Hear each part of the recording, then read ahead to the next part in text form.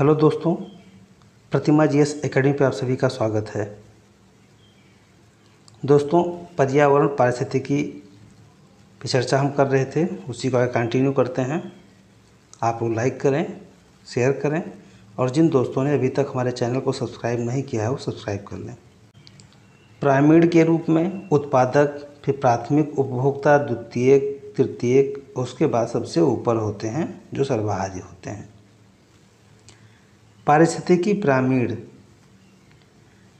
पोषण स्तरों को जब आरेखीय, यही डायग्रामेटिक के रूप में दर्शाया जाता है तो उसे पारिस्थितिकी पिरामिड कहते हैं। खाद्य उत्पादकों द्वारा पिरामिड का आधार निर्मित होता है, तथा शीर्ष मांसाहारी द्वारा पिरामिड के शीर्ष का निर्माण होता है। इस प्रकार खाद्य श्रृंखला में कर्मिक पोषण स्तरों में प्रजातियों की संख्या बायोमास व ऊर्जा की सुलभता व प्राप्तता में इस तरह से हो, ह्रास होता है कि उनका आकार पिरामिड हो जाता है। पारिस्थितिकी पिरामिड के प्रकार ये तीन प्रकार के होते हैं। संख्या पिरामिड, बायोमास पिरामिड और ऊर्जा पिरामिड। तो पारिस्थितिकी पिरामिड तीन प्रकार के होते हैं। संख्या पिरामिड, बायोमास पिरामिड और ऊर्जा पिरामिड। तो संख्या पिरामिड, ये प्राथमिक उत्पादकों और विभिन्न स्तरों में उपभोक्ताओं की संख्याओं के बीच का संबंध दिखाया जाता है। इसमें प्राथमिक उत्पादकों और विभिन्न स्तरों के उपभोक्ताओं की संख्याओं के बीच का संबंध दिखाया जाता है और संख्या पिरामिड, सीधा व उल्टा दोनों प्रकार का हो सकता है।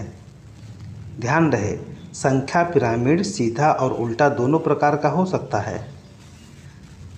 संख्या पिरामिड, सीधा जो है तो इस पिरामिड में बढ़ते पोषण स्तरों के साथ जीव की संख्या में अत्यधिक कमी होती है।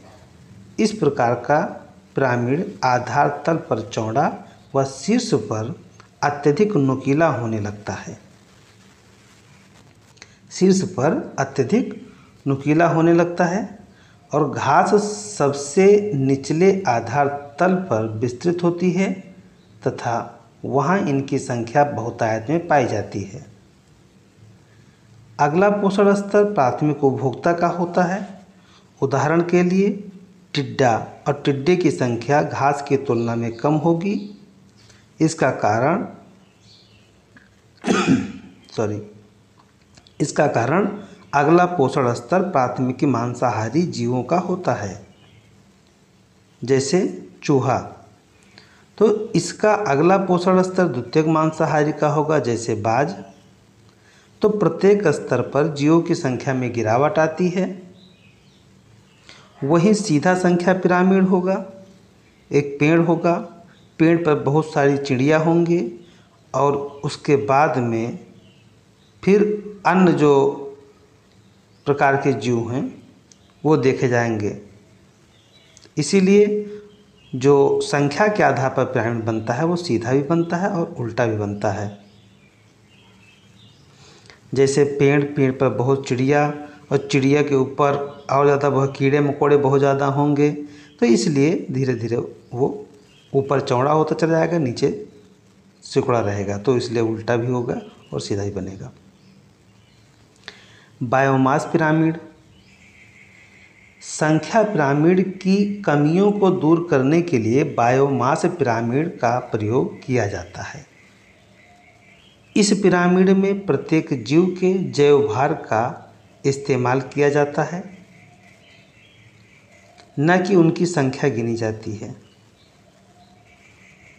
इसमें किसी विशेष समय पर प्रत्येक पोषण स्तर पर सभी जीवों के शुष्क भार का अध्ययन किया जाता है।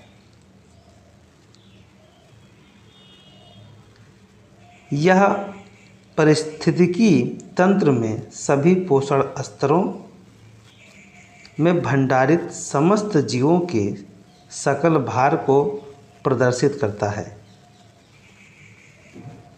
यह पारिस्थितिक तंत्र में सभी पोषण स्तरों में भंडारित समस्त जीवों के सकल भार को प्रदर्शित करता है।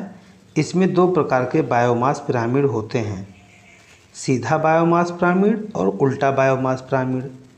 तो सीधा जो होगा वो नीचे अगर एक हज़ार किलोग्राम है, फिर सौ होगा, फिर दस होगा, फिर एक किलोग्राम होगा, यानी नीचे से ऊपर घटता जाएगा और उल्टा जो है नीचे से ऊपर बढ़ता जाएगा।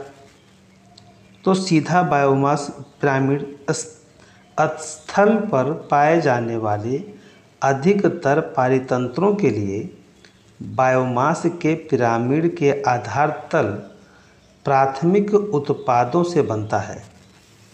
तथा शीर्ष पर लघु पोषण स्तर होता है।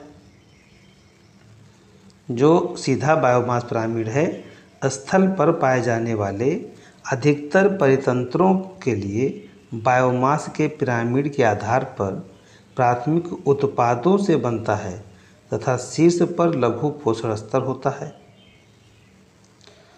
स्वपोषी जीवों, उत्पादकों तथा जैव भार अधिकतम होता है।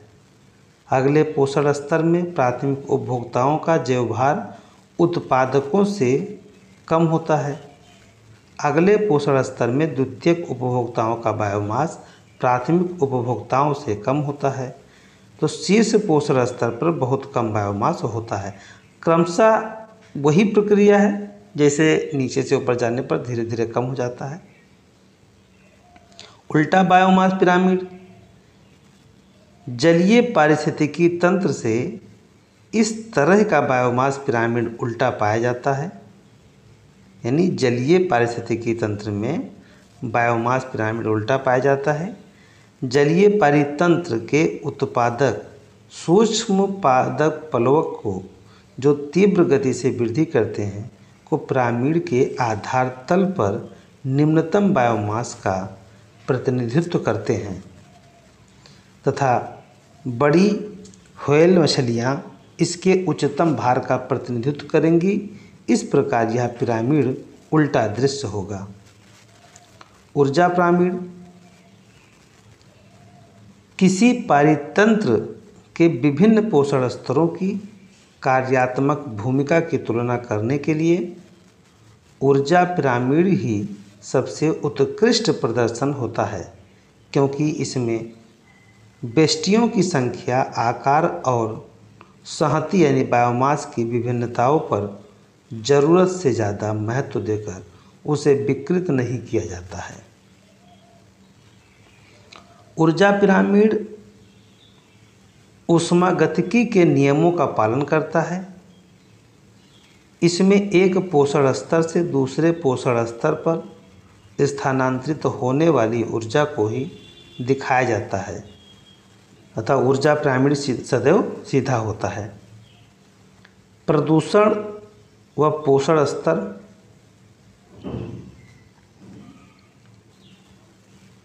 किसी भी पारिस्थितिकी तंत्र में प्रदूषण विशेषकर गैर निम्नी, निम्नकरणीय प्रदूषण कई पोषण स्तरों से होकर गुजरते हैं।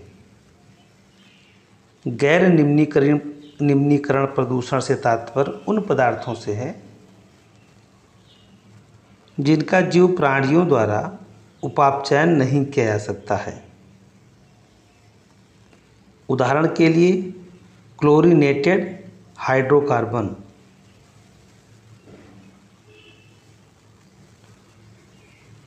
पोषक स्तरों में प्रदूषण की गतिशीलता की दो प्रक्रियाएँ हैं। जैव संचयन और जैव आवर्धन। जैव संचयन क्या होता है? जैव संचयन यह दर्शाता है कि किसी प्रकार का प्रदूषण खाद्य श्रृंखला के भीतर प्रवेश करते हैं। जैव संचयन खाद्य श्रृंखला में पर्यावरण से जीवों में प्रदूषकों के बढ़ते संकेंद्रण को दर्शाता है। जैव संचयन जैव संचयन यह दर्शाता है कि किसी प्रकार का प्रदूषण खाद्य श्रृंखला के भीतर प्रवेश करते हैं। जैव संचयन खाद्य श्रृंखला में पर्यावरण से जीवों में प्रदूषकों के बढ़ते संकेंद्रण को दर्शाता है। और जैव आवर्धन जैव आवर्धन के आशय प्रदूषण का एक ऐसा पोषक स्तर से दूसरे पोषक स्तर में सांद्रण बढ़ने से है। जैव आवर्धन होने के लिए प्रदूषकों में चार तत्व का होना आवश्यक है। दीर्घ स्थायित्व, गतिशीलता, वसा में विलयशीलता और जैविक सक्रियता, ये जैव आवर्धन के चार तत्व हैं। अब देखिए जैविक अन्योन्य क्रिया के अंतर्गत देखा जाए तो अन्योन्य क्रिया के प्रकार, प्रथम प्रजाति, द्वितीय प्रजाति और अन्योन्य क्रिया के प्रभाव। सहजीविता जो है, ये प्रथम प्रजाति के लिए भी सकारात्मक होती है और द्वितीय प्रजाति के लिए मतलब जो दो प्रजातियाँ होती हैं, वो दोनों एक दूसरे को लाभ पहुंचाती हैं। इनका प्रभाव क्या होता है? दोनों प्रजातियाँ लाभान्वित होती हैं उदाहरण के लिए प्रागण में प्राग, प्रागणकों को भोजन मिलता है और पौधे से पराग निषेचन के लिए अन्य फूलों में स्थानांतरित कर दिया जाता है। तो ये हो गया सहजीविता। सहजीविता दोनों को लाभ देता है। सहभोजिता। सहभोजिता प्रथम को तो लाभ होगा, दूसरे को ना लाभ होगा, ना हानि होगा, वो उदासीन रहेगा। तो एक प्रजाति को लाभ होता है और दूसरी प्रजाति प्रभावित होती है, जैसे गाय का गोबर। भृग को भोजन और आश्रय प्रदान करता है। भृग मतलब जो छोटे मोटे कीड़े होते भोले टाइप के, गोबर के अंदर वो अपना आश्रय देखते हैं, प्रदान करता है। और भृगों का गाय पर कोई प्रभाव नहीं पड़ता है। तो यहाँ लाभ किसको हो रहा है? यहाँ लाभ भृग को हो रहा है, लेकिन गाय के गोबर की वजह से गाय को इस पर कोई फ़र्क नहीं पड़ता। स्पर्धा नाम ही है कि एक दूसरे को नुकसान पहुंचाना। स्पर्धा जहाँ कंपटीशन होगा, वहाँ लाभ कहाँ होगा? दोनों प्रजाति प्रभावित होती हैं। यदि दो प्रजातियाँ एक ही भोजन खाती हैं और दोनों के लिए पर्याप्त भोजन नहीं है तो दोनों को कम से कम भोजन तक पहुँच प्राप्त हो। क्योंकि यदि वे अकेले होते तो भोजन पर्याप्त मात्रा में उपलब्ध होता। तो ये दोनों भोजन की कमी से पीड़ित होते हैं। उदाहरण आवास भोजन आवास की समस्या, जैसे चूहे की कमी का प्रभाव बिल्ली व सांप दोनों पर पड़ेगा। परभ्रमण परभ्रमण एक को फ़ायदा होगा और दूसरे को नुकसान होगा। यानी यहाँ पर क्या होगा कि एक दूसरे को खा लेगा, जैसे शेर और हिरण। तो एक प्रजाति के लोग एक प्रजाति को लाभ होता है, अर्थात शिकारी व दूसरी प्रजाति शिकार को हानि होता है, जैसे मछली परजीवी को मारती है और खाती है। शेर द्वारा हिरण का शिकार किया जाता है तो ये क्या है? परभक्षण है। दूसरे का भक्षण कर लेना। तो यहाँ पे एक प्रजाति को तो लाभ होता है, दूसरे को हानि होता है। परजीविता। परजीविता में क्या है कि यहाँ भी एक को लाभ है, दूसरे को हानि है। एक प्रकार एक एक प्रजाति को लाभ मिलता है, दूसरी को हानि होती है। जैसे रक्त चूसने से टिक को लाभ होता है मतलब खटमल को लाभ होता है। अमरबेल का दूसरे पौधे पर उगना ये परजीविता है। ठीक जोंक होता है। असहभोजिता एक को नुकसान होगा, दूसरे को कोई फ़र्क नहीं पड़ेगा। तो एक प्रजाति को नुकसान में रहती है जबकि दूसरी प्रजाति अप्रभावित रहती है। जैसे एक बड़ा पेड़ एक छोटे पेड़ पर छाया बनता है तो छोटे पौधे की वृद्धि को रोक देता है, लेकिन छोटे पौधों को बड़े पेड़ पर कोई प्रभाव नहीं पड़ता है। तो ये हो गया असहभोजिता, असहज स्थिति में होना कह सकते हैं आप। तटस्थता यानी उदासीनता, एक दूसरे को प्रभावित नहीं करते हैं, यह स्पष्ट नहीं कि प्रकृति में या कैसे होता है? परंतु दो जीव एक स्थान पर, एक ही संसाधन पर इस प्रकार इस्तेमाल करते हैं कि उनका एक दूसरे पर कोई प्रभाव नहीं पड़ता है। जैव भू रासायनिक चक्र। ये बहुत महत्वपूर्ण पॉइंट है।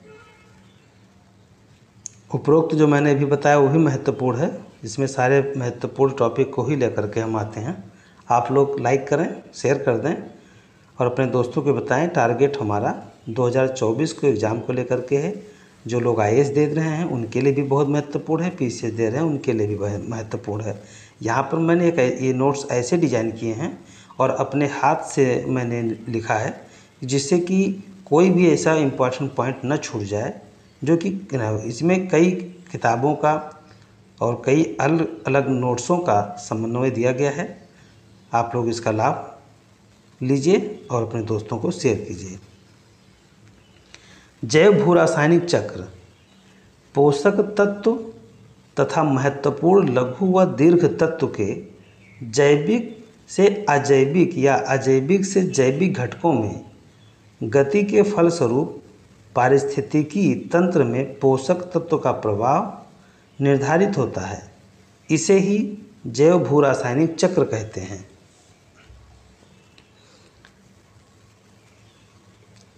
खनिज पोषक तत्वों में, चक्रीकरण में जैविक एवं भौतिक वातावरण, विभिन्न रासायनिक अभिक्रिया रूपांतरण के माध्यम से समान रूप से सम्मिलित होते हैं। इसलिए इस प्रकार को जैव भू रासायनिक चक्र कहा जाता है। पोषक तत्व समाप्त नहीं होते, बल्कि बार बार पुनर्चक्रित होते हैं। और वह अनंत काल तक संचालित होते हैं। उदाहरण के लिए जब हम सांस लेते हैं तो हम कई मिलियन परमाणुओं को अपने अंदर कर लेते हैं, जो कि हमारे पूर्व पूर्वजों या अन्य जीवों द्वारा ली गई सांस हो सकती है। क्योंकि तो गतिशीलता को पोषण चक्र कहा जाता है। पोषण चक्र के प्रकार हैं। पोषण चक्र एक अवधारणा है, जो जो कि बताती है कि कैसे पोषक तत्व तो भौतिक पर्यावरण से जैविक इकाइयों में स्थानांतरित तथा उसके बाद कैसे भौतिक पर्यावरण में पुनः चक्रित होते हैं।